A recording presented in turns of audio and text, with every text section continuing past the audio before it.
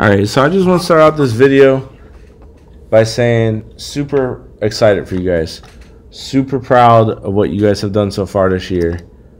And I can't wait to see how you do on this test. Super proud of how far you have grown so far this year. We have done place value, adding, subtracting, multiplying, dividing decimals, area models, bar tables. I'm just excited to see how far you guys have grown and I'm so proud of the hard work that everybody puts in every day.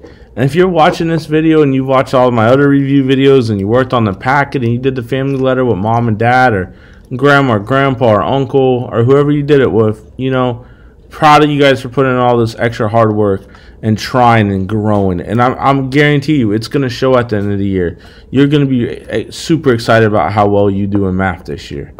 But let's get to this quick video that we got at hand so we can get out of here. It's 4.30 and Mr. Savage wants to go home. So the first question is which expressions have the same value as 400 times 5 and 4 tenths? Circle the letter for all that apply. The first thing I need to do is I need to solve this expression right here. So I'm going to write it out. 5, 4 tenths times 4 hundredths. I'm going to do 4 times 4 is 16, carry the 1. 4 times 5 is 20, 21. And then all I got to do is I just got to count the digits to right of my decimal place in both factors. So I got one, two, three. So I come down to my answer. One, two, three. So my answer is 216 thousandths. Now I need to come over here and circle every problem that equals 216 thousandths. Well, let's look at A. 216 times 1 thousandth.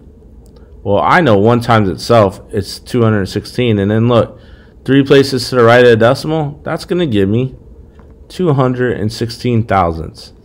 So that's right. Well, look at here. Look at this. I already have 216 thousandths. But they're saying if I multiply it by another 100th, it's going to stay the same. No, that's going to get smaller. So I can cross that answer out right away. Check that out. Next next question is 21 and 6 tenths times 100th. Well, when I multiply by 100th, or what, so when I multiply 100th, I'm just going to do 21 and 6 tenths times 1 is 21 and 6 tenths. And then I'm going to move my decimal place two places to the left because I multiplied by 100. So I'm going to go 1, 2. That is going to give me 216 thousandths. That is correct. Let's look at this. So I have 200, 2 and 16 hundredths, and I'm going to multiply that by a tenth. So I'm going to move my decimal one place to the left. Well, that's the same. That's That would be 216 thousandths.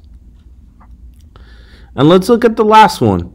216 times 100. Let's try it fraction form. 216 over 1 times 1 over 100 Check this out 216 over 100. That's an improper fraction, but I know that's greater than 216 over 1,000. So that can't be it either. So my answer is A, C, and D. Excuse me, but let's keep moving. So next question is Amber divides power of 10 using exponents. She says that 3 tenths divided by 100 decreases the value of 3. Do you agree with Amber? Explain your thinking. So I already turned this into the form 10, and, 10 to the second power is 100.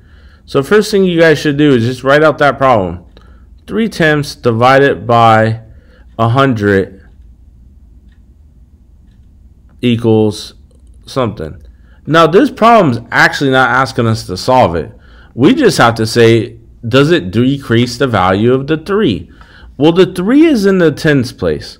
So if I divide that by 100, I'm going to, whenever I divide, my number gets smaller. Remember that. Whenever you divide, you get smaller. If you have three tenths of a pizza and you share that with 100 people, you guys might not even get a whole pepperoni off the pizza.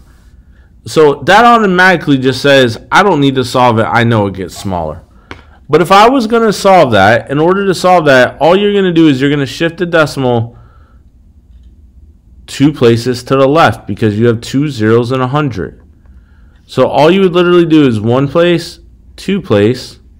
So your new decimal is 3 tenths divided by a 100 becomes 3 thousandths.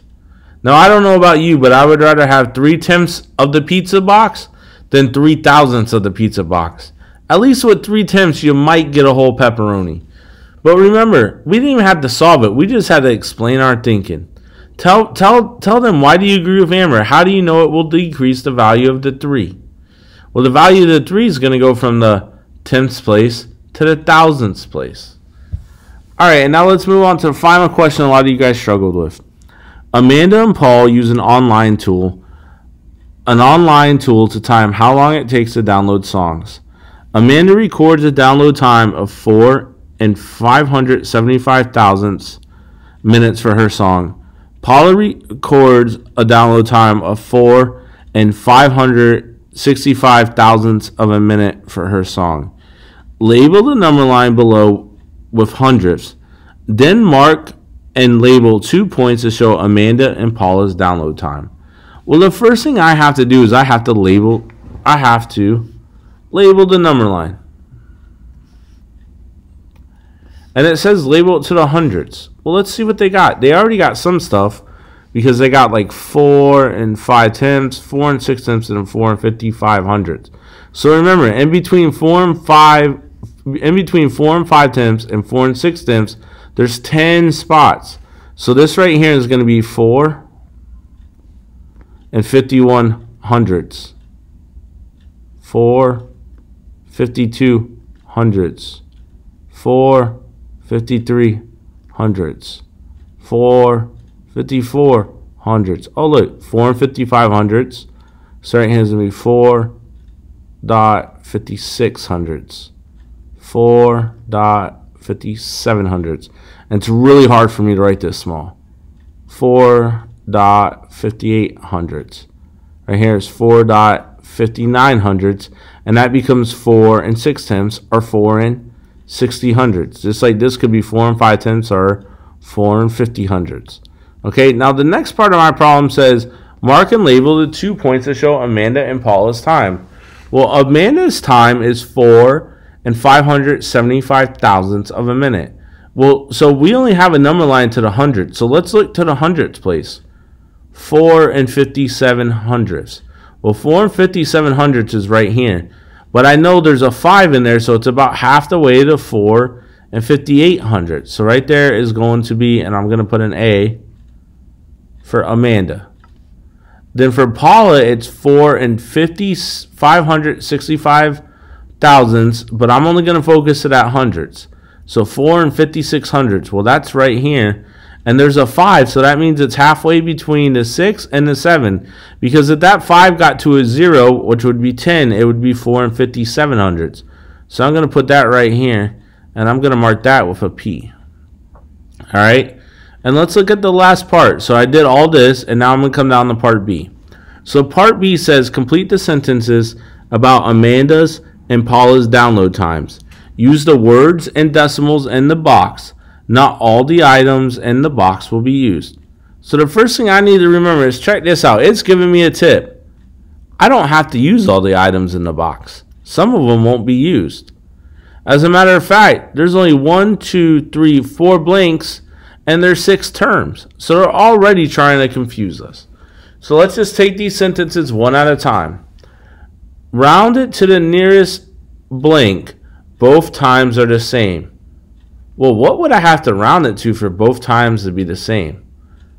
So let's go back and look at our two times. We had four 575 thousandths, and I had four 565 thousandths. And if I was going to round, well, if I round to the nearest one, they would be the same because both of them would round up to five. If I round to the nearest tenth, they would also be the same. Because look, this would round up to 6, and this would round up to 6. So they would both be 4 and 6 tenths. If I round to the nearest hundredths, they would be different. Because that would round up to an 8, and that would round up to a 7. So I got to go back to tenths. So if I round these to the nearest tenth, 7 would round the 5 up. So I would go to 4 and 6 tenths. And 6 would round that 5 up, so I'd go to 4 and 6 tenths.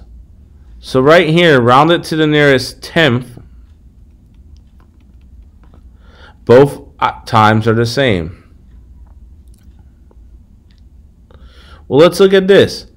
Both times are closer to blank than blank.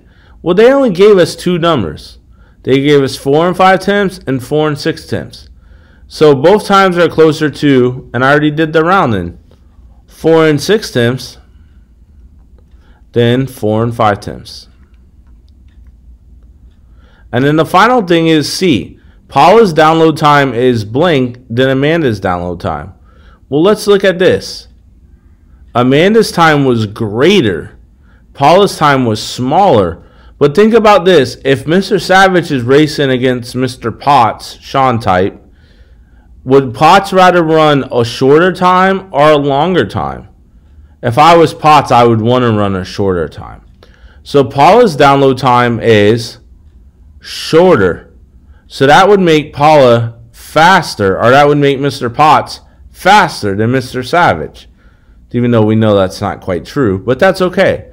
So look, for Paula's time, even though it was smaller or shorter, that makes it faster. All right, guys. If you have any questions, ask me in the morning. Send me a message on Dojo. But here you go. This is uh this is the final video for this unit, and I can't wait to see you guys tomorrow. This quiz or this assessment, I think is gonna do real. You guys are gonna do really good on it. All right. See you guys in the morning.